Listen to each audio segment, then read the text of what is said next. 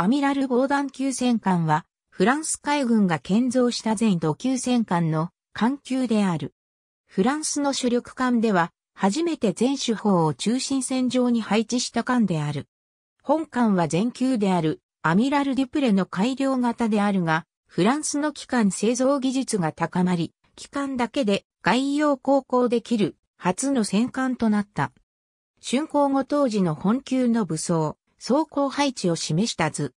船体の基本形状は全艦と同じく艦首水面下に昇格を持つ、還元の高い船体を持つ点は全艦と同じであるが特筆すべきは、本級から竣工時から搬送を全廃しており、前後にミリタリーマストを装備している。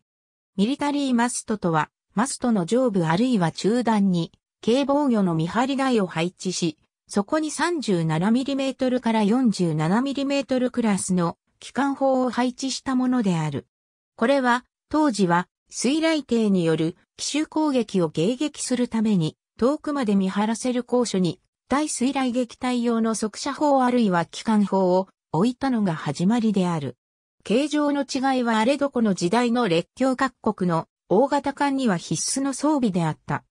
本艦のミリタリーマストは頂部には2段の見張り台があり、2段目に 47mm 回転式気砲が4機が配置され、後部ミリタリーマストも同形式で計4機が配置されたが後に、甲板上にも 47mm 回転式気砲が増設され18機となった。また、アミラル・デュプレは2本煙突はあったが、本級は大型の1本煙突とされた。そして、本級の特徴は、原則方角部に主砲を配置する従来のフランス装甲艦とは違い、本級は甲板上に竣工時から主砲を配置する形式を採用している。これにより主砲は広い射角を得られると同時に水面から高位置に配置されるために波浪の影響を受けにくくなった。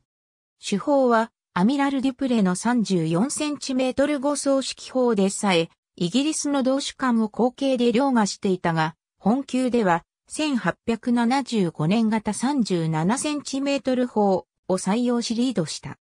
無論、イギリスやイタリアでもフランス艦を超える後継の艦砲の搭載はあったが、それは小舟時代を思わせる旧式な前装式でしかなく、発射速度では本級の持つ 37cm 5装式砲に及ぶものではなかった。これをバーベット上に配置するのは、アミラル・デュプレと同じであるが、旧来の搭載方法では、外洋航行時にバーベット内に波浪が吹き込む問題があったので本級では中高警報の砲弾に耐える装甲カバーをかぶせた。手法は全部甲板に1機、中央甲板に前向きに1機、後部の甲板に後ろ向きに1機計3機を配置した。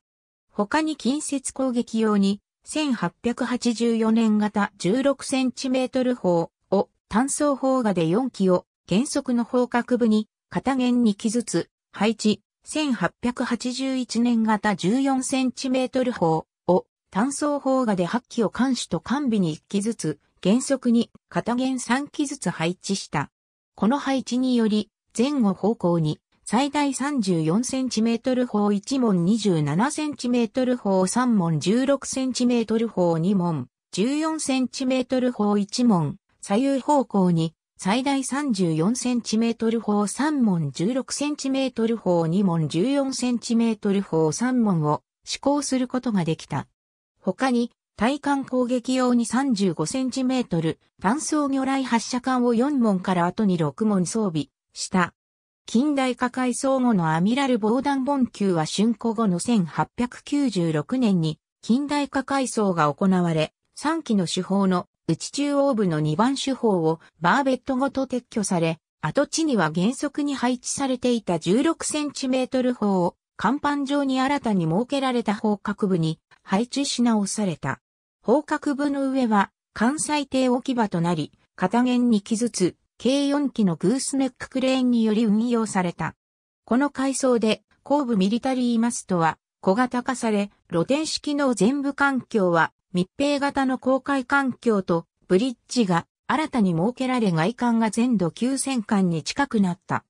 本艦に搭載された主機関は船体中央部の主要防御区画内部に配置した石炭戦勝円筒管8機に水平型2段膨張式レシプロ機関2機に軸推進で変わらないが最大出力は全艦アミラルデュプレの5700馬力から9000馬力へと大幅に強化された。そのため、前級よりも太い船体形状にもかかわらず速力は難なく16ノットを発揮できた。石炭を800トン満載状態で10ノット巡航で2800回量航行することができた。世界の感染増加フランス戦艦史。ありがとうございます。